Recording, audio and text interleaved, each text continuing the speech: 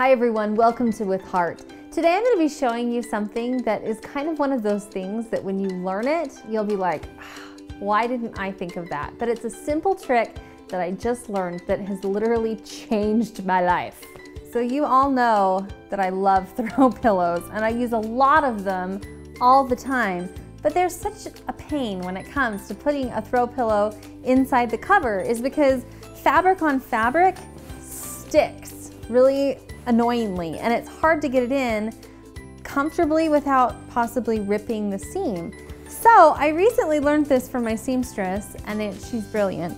But you take an old bag, you put the pillow insert inside the plastic bag and the plastic helps it slide right into place. So easy. No problem at all. But then you've got this plastic bag, right? So then all you have to do is just reach in and pull off the plastic bag. And voila. So simple.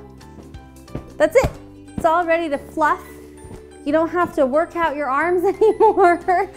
That's all it takes is a plastic bag and you've got a perfect throw pillow.